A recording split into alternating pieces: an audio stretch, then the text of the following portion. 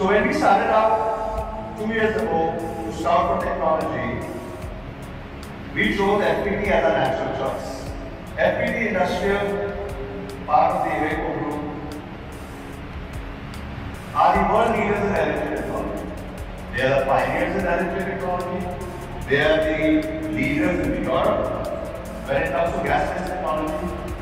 And through our cooperation, collaboration with them, they build an LNG engine technology which is showcased there for everybody to see after this, which is designed, suited, customized, and developed for the Indian market.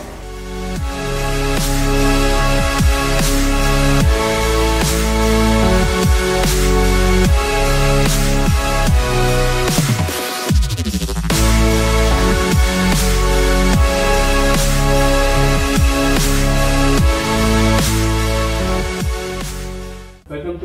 to Uh, thank you for tuning in. And first of all, congratulations on the newly launched Blue Energy Motors as well as the new truck.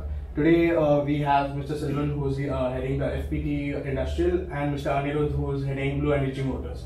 Congratulations on the first truck and how's the experience been? Well, you know, we are uh, we are now launching today India's first LNG truck. So we are all very excited. It has been a pioneering journey for us because, uh, as you know, uh, there are no LNG trucks in India today. It's a new technology. Uh, we believe that India is ready for it. It has taken us two years to get to this stage. So yeah, for all of us, uh, you know, who have collaborated on this project and worked on this project, it's uh, it's a milestone. So we are all very excited about it. Uh, Sylvain, for FPT, how has the industry, how has the FPT uh, been contributing to the Blue Energy response or only how is the company set up? Alors, as you know, we are we are a, power, global powertrain company, so we design, build, and sell powertrain solution globally.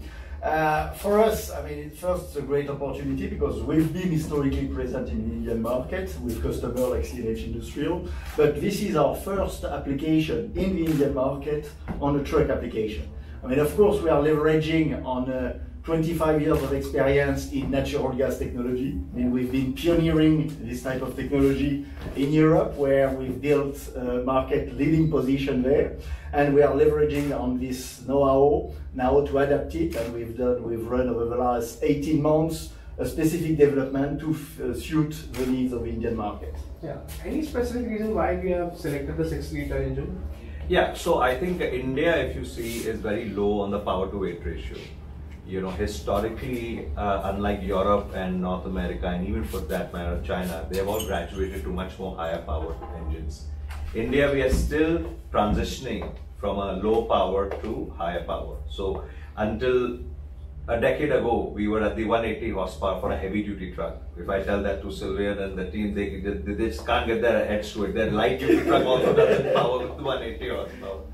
Uh, but in India, it's unique because A, our speeds that we run our trucks in is less than 35 kilometers per hour.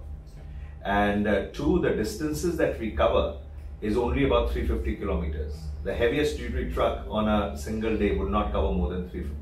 So our duty cycle requirements are lower, lower, Lower. Uh, in terms of what the truck needs. But having said that, the other issue which comes is the capital cost. India, as you know, you know the logistics cost right now is undergoing its own share of challenges. So if you increase the capital cost of the truck, then the operating cost falls off. So if you marry all the three issues, you need an engine which is the choice of our engine, the 6.7 liter. It uh, gives 280 horsepower with 1000 newton meter torque, which I think is very ideally suited for the market. Also, uh, the N, uh, uh, the N67 engine, which LNG has as of now, can it be run on CNG? Yes, this is a gas engine. It can be run on CNG, LNG, and biomethane. And maybe just to add on the on the engine side on the technology, I mean our engine is designed basically to run on LNG, CNG, and biomethane. So and in terms of performance, today we did what we like to call to deliver a performance which is diesel-like. I mean, as uh, Anirudh was quoting, I mean, the, the engine we're installing on, on, on the truck is 280 horsepower and delivering 1000 newton meter. So it's perfectly matching basically the typical mission here in the Indian market. So, Also considering FPT's first footprint in India, how are you procuring the spare part availability for the truck? Should I answer that question? Yeah, go go go first, and I complete. So, um, so we are basically uh, developing the complete spare parts requirement. Obviously, we are just starting out, so uh, you know we are seeing what is going to be the spare parts requirement as we go on. But, uh, but you know we are going to have a joint program of stocking spare parts both in India and in Italy and throughout our service network. Alright, so currently are the engines completely into the assembly mode or are they are into CKD mode? The engines are completely coming built from Italy right now. Okay. Rest of the truck is of course uh, made and uh, assembled in India. Engine comes as a fully built pack. Okay, and how much of it are we localizing entire truck? Uh, right now, barring the engine and a few other components, all truck is localized out of India. Even the cabin and No, so uh, cabin comes from China, okay. uh, but uh, majority, but cabin constitutes a very small percentage of the overall truck. But rest of the complete truck, whether it's the powertrain, such as the axles or the gearbox or the chassis, all other components are all sourced from India. Incidentally, out of the 122 suppliers, we have 100 are in Pune. Oh, so that's a very good network. Yeah, it's a complete design, engineered, and built uh, for the Indian market truck. Yeah. You would like to add upon? Yeah, ju- just to add, on, I mean, uh, the industrial setup here in Pune is quite impressive because there's this full ecosystem around automotive and truck industry, which allowed from start basically to have already quite uh, a local footprint. For us, FPT, we are, we are building, continuing to build a stronger position here. Obviously, before we speak about full localization uh, of engine, uh, we need as well to have, to have to see the maturity of the market and how the, the volume will build up uh, over time. But we all, I mean, the engine we are fitting, we are already leveraging on some Indian local sourcing for a component, even if we assemble the engine in, in our plant in Turin. In And Italy. how was the testing phase, or maybe how difficult was it to bring the Italy spec engine into the Indian one? How did we do the testing for it? So uh, there are two parts to it. On the engine side, FPT did what they do best, uh, you know, because they are uh, been in engine manufacturing for decades, so they know, uh, you know, what a world-class engine is. And on the truck side, uh, we developed the product over the last two years through very rigorous testing, through a lot of collaboration work that we've done with the FPT team. We've been working together on this project for almost two years now. So there's a lot of integration between the two teams, between both Italy and India, that has made this truck possible. Alright. And considering Blue Energy being a startup, how much of the funding has been gone into it? So, uh, Blue Energy, the basic idea of this startup is to be a zero commercial vehicles company. Okay, so we are fully funded as of now. Um, right now, our target is to launch with the LNG truck that we are coming out, uh, keeping in line with our vision to be a zero emission commercial vehicle company. The second product that we will see sooner next year would be the electric version of it. Our target is going to be to disrupt the truck industry on the product side by going completely green. And that's what the initiative we are going to take. In the coming, uh, but, you know, right now we are fully funded, and maybe uh, towards the end of the year or next year, depending upon how we scale up, we will see if we need to raise more funding. Also for Blue Energy, what does FPT bring in and what does Iveco Group bring in? So FPT is part of Iveco Group. Uh, so uh, you know it is uh, kind of the one entity. What FPT has brought onto the table is the LNG engine technology. Like I said, that you know when we started doing this product, we were scouting for technology. So FPT was a natural choice because they are world leaders in gas technology, they are pioneers in LNG, and they are also leaders in Europe when it comes to LNG technology. So with their uh, collaboration, they have developed this LNG engine technology, which is suitable for India, and uh, that is uh, the heart of the truck. So in my mind, you know that is uh, going to be the most single important ingredient of how the truck delivers to the market. Alright, what is the investment outlay since inception and how much of it is realized? So we have more or less uh, completed our investment. So investments are fully done. As you can see, today is the launch of the truck. Uh, the plant is complete. Uh, this plant has a capacity of 10,000 trucks, you know, in two shifts. Um, our product is ready. So now we are moving into phase two of the business is to really go out in the market and start to sell the trucks. That's where we are. Also, considering the entire facility, is this the only one existing in India, or are you leveraging the previous uh, facilities as well? No. So this is a new concept that we've come up with. This, these are what we call smart modular factories. They have a small footprint of 100,000 square feet and capable of producing 10,000 trucks annually. Uh, we believe that uh, we what we are trying to do on the manufacturing side is create a disruption. Unlike putting up large facilities and large investments which are capital heavy, our model is capex light, it's flexible, it's robust, it's scalable, and we can put these units up anywhere in India in 120 days. So instead of building capacity and then chasing uh, demand. Uh, chasing demand, we are flipping the coin.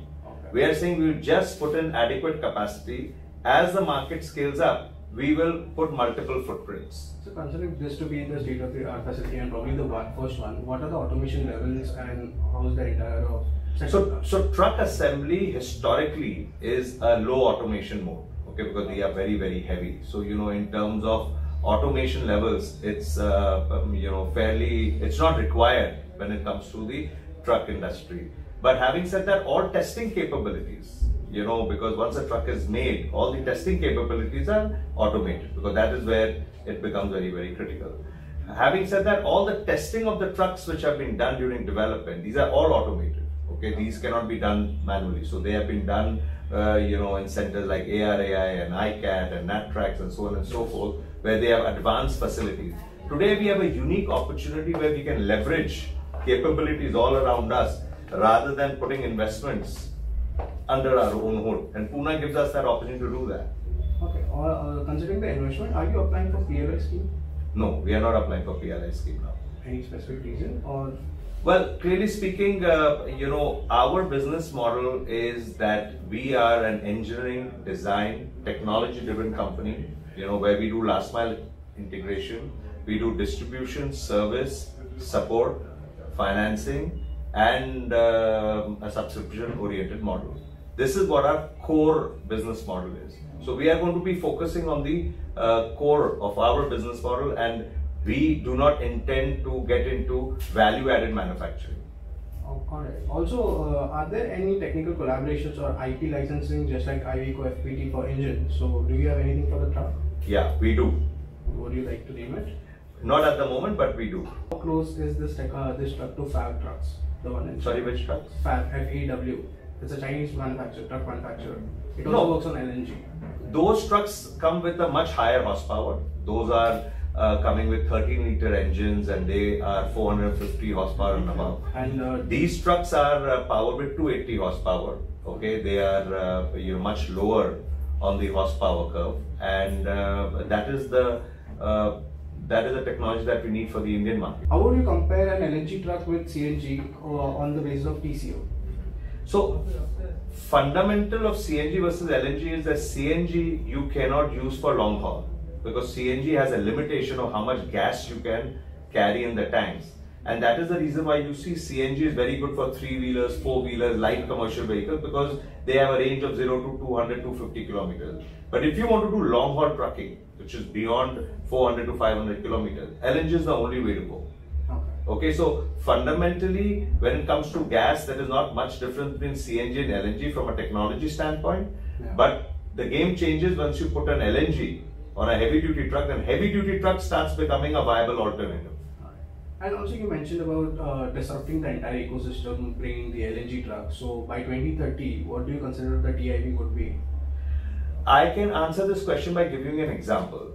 I personally believe that India emulates China when it comes to growth. Okay, and if you see, China launched LNG trucks for the first time in 2015-16. Uh, they sold 15,000 trucks first year, but the market was much larger. Second year, they sold 75,000 trucks. Today they are selling 150,000 trucks representing 14% of the market. And this is also only because the LNG is available along the coastlines, not so much inland. Okay. If you use that as an example, in India we believe the operating economics of LNG is superior to China. So depending upon the proliferation of the LNG network, as and when it comes, and you know we are expecting thousand outlets to come in the next five years, my anticipation is that LNG trucks are going to take significant market share in the years to come. Also, uh, how extensive was the testing done on the 5528? We've been doing it for two years.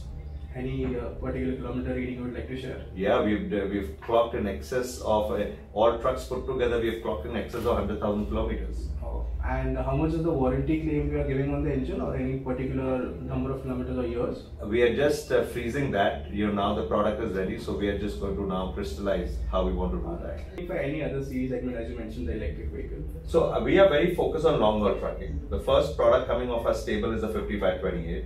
Uh, we are looking at an electric version of this sometime next year. Uh, depending upon how this product is absorbed by the market, then we think of straddling the segment. Alright, to sum up the entire interview, what are the growth areas for FPT and Blue Energy and what are the challenges you have faced and any tipping point you would like to share? You want to go first? Uh, I mean, I think first on the experience over the last, basically, we started 18 months ago the Yeah. project, uh, the partnership from an idea to, to now uh, a product we are launching uh, today. I think something remarkable from our side first is the way we've been working together because I think is the true spirit on how we work at Iveco Group and FPT Industrial and with Blue Energy is a partnership.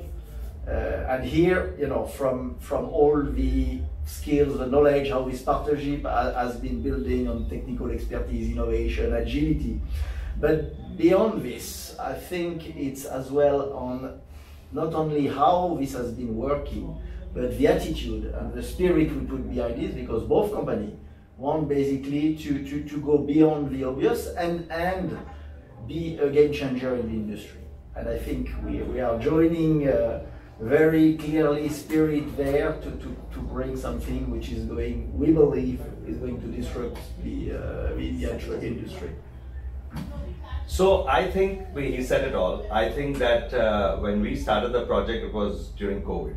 Yeah. Okay, and you can imagine, uh, you know, what would be the situation. And here we reach out to FPT and say, hey, you know what, we're a new startup and we want to develop an LNG truck, that too a heavy duty truck, uh, first time of its kind in India. And for these guys, they didn't have the LNG technology suitable for India. So they had to take a call to bet on us to develop and invest in LNG technology suitable for India when they had no other project. We had to bet of partnering with FPT, uh, you know, for this technology and depend upon them that for the collaboration, given the time that we did. So I think that it's kind of a, it's surreal that we are here today. Uh, none of the teams in the beginning believed that this will become a reality. But I think here we are, 24 months later, launching India's first uh, LNG truck. So, like they say, adversity gives rise to opportunity, and we are a poster child of that. Thank you, both of you, for giving us time for CV Magazine. Stay tuned and congratulations on the.